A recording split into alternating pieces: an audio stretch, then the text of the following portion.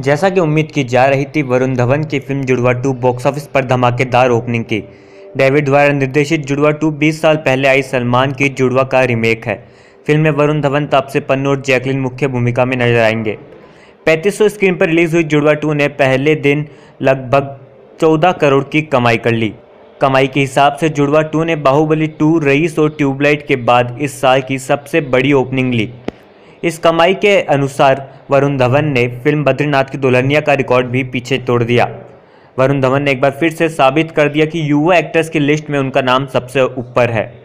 इस फ़िल्म ने टॉयलेट प्रेम कथा के ओपनिंग कलेक्शन की लगभग बराबरी कर ही ली। वहीं शाहरुख खान की फ़िल्म, जब हैरी मेड सीजल को बुरी तरह से पछाड़ दिया और शाहरुख खान से आगे निकल गए। वरुण धवन की ये फ़िल्म 100 करोड़ के क्लब में शामिल हो सकती है और उनके साल में लगातार 200 करोड़ की क्लब में मूवी शामिल हो जाएगी। यह रिकॉर्ड अभी तक इस साल अक्षय कुमार के ही नाम है।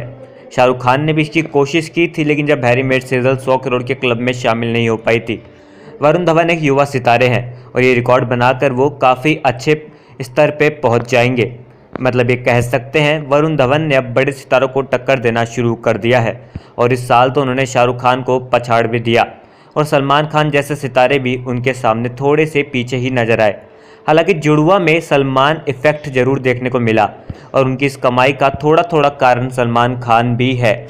और भी खबर जानने के लिए सब्सक्राइब कीजिए चैनल और जुड़े रहिए हर खबर के साथ सबसे पहले।